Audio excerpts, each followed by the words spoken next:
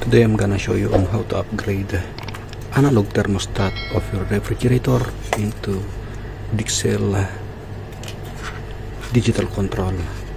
And whatever model it is just get the power supply here. 5 and 6 the power supply. Just line the line here and get the compressor output. And put NTC sensor and we're going to connect it. Okay? These two line here I'm going to connect this. And I'm going to pull since this is from the AC source I'm going to get this one here. And I'm going to connect it here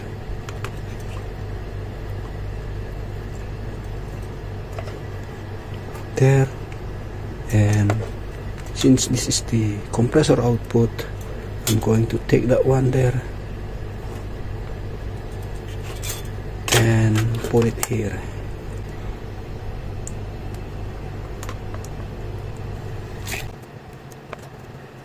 And I'm going to extend the neutral wire here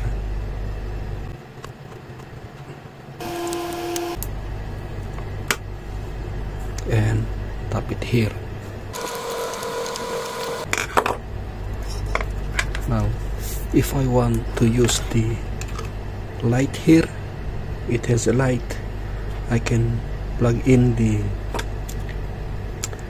life of the light bulb to the terminal number 4 but the problem is if I want to on power on I'm going to press this one but I, I prefer to use the micro switch instead okay?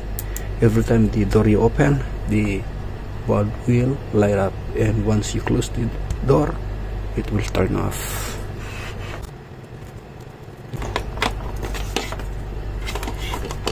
See?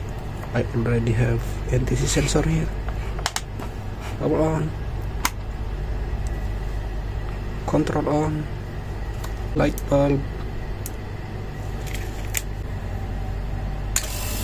okay there is it thanks for watching. Please support me by clicking subscribe button or follow button in FB thanks once again. Enjoy